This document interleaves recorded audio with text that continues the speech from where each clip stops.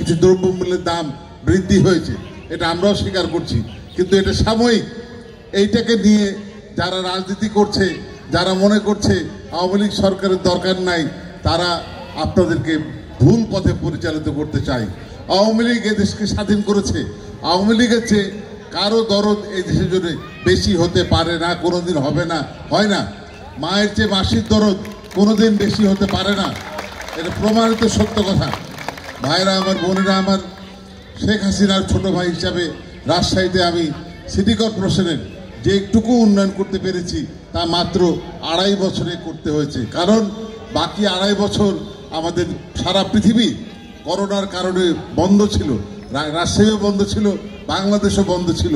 ফলে মানুষকে, মানুষের প্রাণ বাঁচাতে আমরা ব্যস্ত ছিলাম।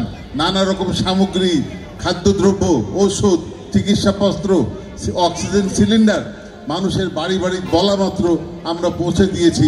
সেই সময়ে উন্নয়নমূলক কাজ আমাদের করতে পারেনি, সারা পৃথিবীর কেউই পারেনি।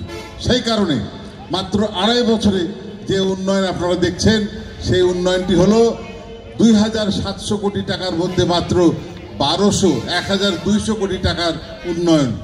তাতেই সারা বাংলাদেশ এবং বাংলাদেশের বাইরে রাজশাহীর জন্য যত প্রশংসা, যত খুশি হয়ে মানুষ যত কথা বলছেন, এ কথাও বলছেন, বাংলাদেশ শুধু নয়, দক্ষিণ এশিয়ার মধ্যে অন্যতম সেরা বসবাসযোগ্য নগরী রাজশাহী সিটি কর্পোরেশন এলাকা।